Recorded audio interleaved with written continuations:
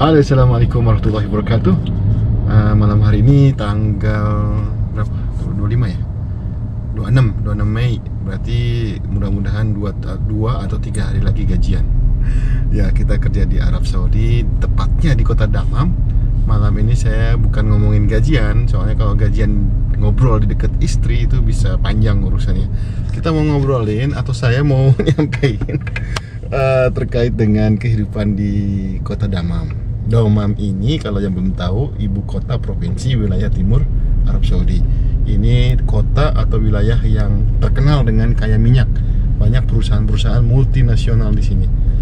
Selain juga Jubel dan beberapa kota di Arab Saudi bagian barat, Yanbu itu juga kota industri. Di Damam juga nggak kalah pentingnya. Nah, karena di sini ada eh, apa namanya Mina eh, seaport atau apa namanya pelabuhan internasional yang biasa mendatangkan barang dari seluruh dunia. Maka nggak heran perkembangan kota ini sangat pesat dan banyak warga yang lebih educated, yang lebih terdidik dan warga sini sendiri orang Saudi itu sudah nggak heran atau nggak asing lagi kalau diajak ngobrol dengan bahasa Inggris. Kalau di daerah tertentu atau kota lain di Arab Saudi mungkin bisa jadi mereka kurang bisa kurang cakap ngobrol dengan bahasa asing dan biasanya bahasa Arab pasaran yang bisa kita gunakan. Oke, kita akan teruskan uh, apa yang ngobrolin tentang kota Damam, seluk beluknya, bagaimana suasananya, dan seterusnya. Ini kita lagi nunggu lampu di perempatan Jalan 18 Kota Damam. Nah, saya sudah berada di toko dan restoran yang satu-satunya di Kota Damam. Toko Jakarta dan restoran Jakarta juga pastinya nyediain makanan menu Indonesia. Oh lagi kosong sepi. Abu ini Muhammad yang jaga. Mau masuk apa aja yang dijual di sini? Oh ntar masker saya ketinggalan di mobil. Ambil masker dulu. Ayo kita masuk yuk. Assalamualaikum. Ya kayak toko-toko seperti di Indonesia produk-produk kita juga ada di sini. Mulai ABC kecap saus Ajinomoto, kemiri. Oh, ini juga ada bau jengkol deh. Kayaknya jual jengkol. Mana jengkol? Oh, ini jengkol ya. Berapaan ya? Ini apa nih? Puas. Hah? Puas. Kalau kemiri yang mana? Hah? Beda lagi ya, kemiri. Nah, ini gula Jawa juga ada di sini. Ini gula Jawa kan? Mana kemiri? Oh, ini. Oh segini kemiri ya? Kemarin ini dicariin di Bahrain nih. Ada tepung terigu, ajinomoto, macam-macam ya. Kerupuk sidoarjo banyak di sini. Kerupuk emping melinjo, udang dan sebagainya. Ada produk tahu juga nih. Bakso ada nggak? Mana bakso? Oh ini bakso nih. Udang rebon oh ada ming melinjo nih. Mau coba? Oh ada kerupuk. Kerupuk bawang nih. Indonesia punya nih cak gundul. Kerupuk singkongnya ini boleh lah kerupuk singkongnya ada rengginang. Oh komplit juga di sini produk cak gundul. Melinjo pedas kerupuk bawang, emping, ada kuping gajah, rengginang lokal, tempe, keripik tempe. Ini rengginangnya cak gundul. Ada keripik tempe kriuk, cak gundul juga. Tapi harganya pasti beda ya sama yang dibungkus biasa. Oh ini juga ada keripik tahu. Masya Allah komplit juga nih. Udah lama nggak pernah ke sini. Nah, ini permen kita relaksa. Indonesia punya ada blue band ada apa namanya? Apa namanya? Meses ya? Meses warna-warni. Marjan. Ini koktail dari Thailand ini. Ini vina Indonesia ya. Oh ada sambal terasi. Barangkali ada yang mau dibawain. Sambal terasinya ada dua macam ya. Ulek sama sambal terasi ABC beda merek. Oh ya ada kolang kaling kayaknya. Telur asin. nih Ini kolang kaling. Sari kelapa murni ini. Oh, coconut. Coconut fiber. Tango ada. Deka ini Indonesia juga nih. Ini pandan buat apa ya pewarna ya. Nutrijel Indonesia satelit ini agar-agar. Sariwangi Tongji Nirjen. Sekarang kau sekali lagi pokoknya kalau produk makanan Indonesia jangan salah beli yang tepat kayak di sini di toko Indonesia yang cuma satu-satunya di Kota Damar. Produk Indonesia berjubel di sini, macam-macam, banyak. Pas azan Isya di masjid kedengaran suara azan. Biasanya kalau azan dulu-dulu ya sangat tertib dan serempak toko-toko semua komersial area pada tutup. Cuma sekarang mereka agak longgar jadi ada yang buka. Tapi masih rata-rata masih pada tutup sih. Seperti yang urgent kayak gini nih. Apotek, pom bensin sebagian buka. Tapi sebagian banyak juga sebagian besar ya. Iya. Di antara ciri khasnya kota Damam atau secara umum di kota-kota Arab Saudi uh, apa ya? Uh, ini kamera jalanan. Jadi di sini kalau di Indonesia udah mulai berjalan kan? Ada kamera yang memantau kecepatan maksimal kendaraan melaju laju kendaraan. Ini 80 jadi kalau di atas 80 km per jam kita bakal dijepret dan akan menjadi pelanggaran dan harus dibayar melalui rekening. Jadi kita bayarnya lewat online. Terus ciri khas yang lain nih. Yang harus saya kasih tahu. Banyak buku dental tuh. Banyak apa tuh? Banyak klinik apa namanya dokter gigi. Uh, kalau di Indonesia kan jarang ya.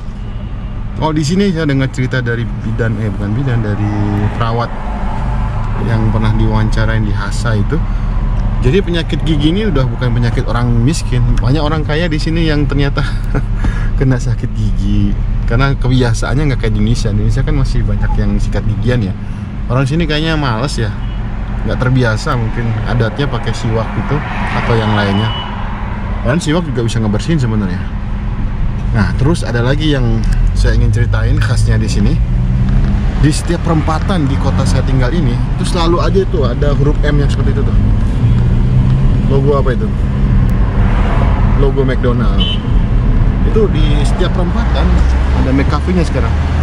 Itu selalu aja ada toko tempat atau dibuka gerai McDonald. Hampir di setiap perempatan. Dan juga ada McCafe sekarang. McCafe ini buat ngopi-ngopi mainan anak-anak juga di situ. Ingin ngasih tahu juga ini salah satu cafe yang menjadi franchise-nya lokal kayak cabangnya di mana-mana itu. Selain itu ada juga restoran yang nggak kalah ramenya sebagai franchise lokal di sini yang merajai kuliner di Saudi. Ini dia Abu Hilal. Mulai gitu tutup ya. Soalnya azan Isya jadi lampunya dimatiin. Tapi masih ada yang beli sih dalam melayani masih melayani ini. Lagi salah satu ciri khas yang biasa kita dapatkan di kota Arab Saudi terutama yang di dalam sini ini nih ada toko yang namanya bukan Ice House Ice House juga termasuk tapi yang lebih gede sampingnya Betul Asar apa ini? Ini toko yang jual semua produk murah meriah. Pastinya dari produk Cina. Dan itu macam-macam. Segala kebutuhan kita dari A sampai Z itu bisa ada di situ. Ini salah satu restoran yang saya suka dan favorit. Kenapa? Karena rotinya ya khas. Kalau di Indonesia disebutnya kabab. Kalau di sini namanya shawarma.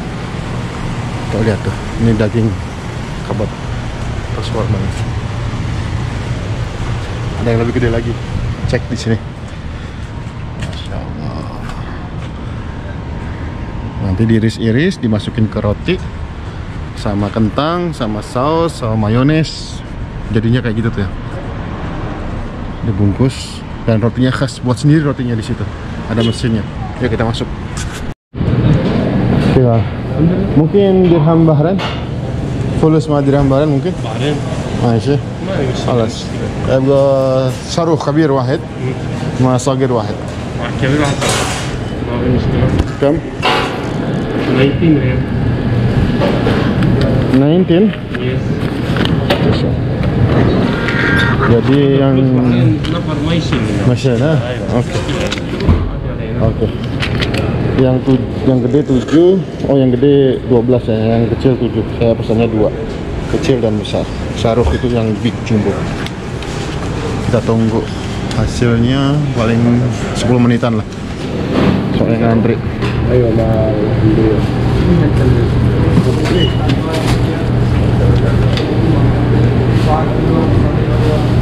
Nah, itu yang bikin rotinya di sebelah sana tuh. Bikin sendiri. Olahan sendiri khas rotinya khas banget. Akhirnya setelah nunggu 10 menit dapat juga yang gede satu, yang kecil satu. Oke, kita pulang. Di depan saya ini Hotel Windam. Ini Hotel Bintang 4. Di sampingnya ada Lulu Mall. Ini juga hypermarketnya milik orang Kerala, India. Pintu keempat ya.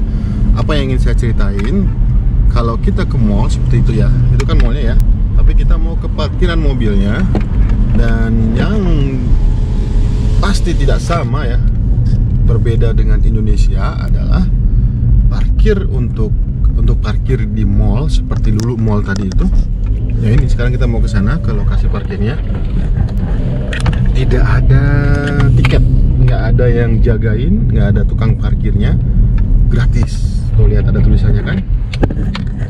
Nah, baca pelan-pelan. Yuk kita buka dulu. Supaya kelihatan. Nah ini.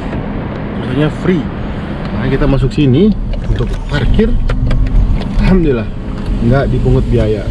Sereal satupun seperak pun. Sebinala pun. Ini kita masuk ke area parkir yang bergratis bukan berbayar. Bayangkan kalau di Indonesia satu jamnya di mall itu seperti di Jakarta bisa 4000 tuh per jamnya. Di sini alhamdulillah kita bisa gratis bisa milih tempat di mana saja tinggal kita parkir di mana ya enaknya ya? Mau ke mall kan? Saya mau ke masjid dulu. Ya udah ke dekat kasirnya aja. Nanti saya jalan kaki di sini. Biar nanti barangnya nggak repot bawa nah lihat deh parkirannya luas kan? Juga yang senengnya di sini saya ini kalau kita ke mall ada masjidnya yang enak. Karpetnya empuk sejuk aslinya. Kita parkir di sini. Yang dekat kasir supaya nanti pas keluar barangnya nggak terlalu berat bawanya nggak terlalu jauh maksudnya. Ya kan? Nggak ada tukang parkir yang ngejagain. Kita bisa bebas diparkir di mana aja. Saya ambil yang di sini aja. Dekat pintu masuk dan keluar. Oke kita parkir dulu dan saya mau sholat isya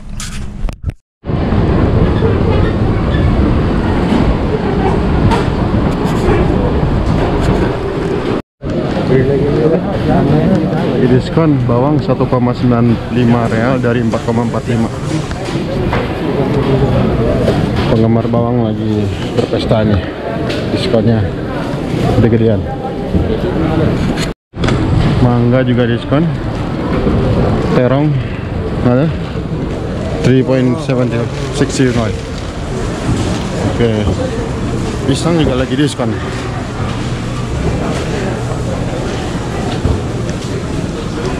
anggur juga diskon. Kayaknya lagi pada diskon nih setengah harga. Oh ini judulnya Kingdom of Mangoes. Lagi diskon mangga. Ini dulu ya. Wah Masya Allah wanginya. Mantap. Boleh boleh dicoba. Tuh ada yang dipotongin. How much this? No, no, this one. Oh, This one one? only sample. Oh, sample. Mango Yemen, Kalbachor. One min per. Try the sample. This the mango Yemen. Yemen. Yemen. This one, Yes. the red one. Kita coba trial mango Yemen. Mango Yemen. This one. eh? This one. Emang lagi pesta mangga ini, semuanya diskon. Dan tadi saya coba manis banget tuh. Boleh deh ini. Setengah harga ya. Ya karena tadi dicoba di testernya enak, manis, saya beli 2 kiloannya. Lumayan dah. Ini kacang-kacangan juga kelihatannya lagi diskon. Ya, kan lagi diskon setengah harga nih, lumayan nih. Kurma juga. Manis manisan. Nih, pistachio Amerika. Ini kesukaan saya nih. Masih harganya masih lumayan sih dari 59 ya 50. Lumayan. Masih tapi ada sih lumayan lah diskonnya daripada lumayan kan meskipun masih mahal ya bagi kantong kita yang nggak terbiasa beli kacang-kacangan.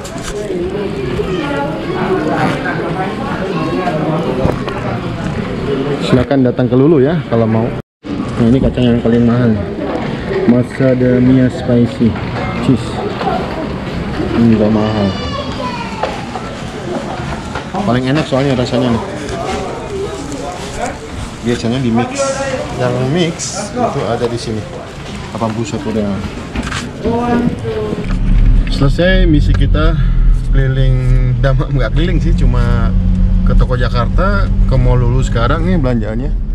Ada yang Lulu ada yang dari toko Jakarta. Sekarang kita tes. Bayar nggak keluar dari tempat parkiran ini? Karena parkiran ini kalau di Indonesia itu otomatis berbayar. Kalau di Jakarta sudah sampai 4 ribuan sampai 6 ribu per jam.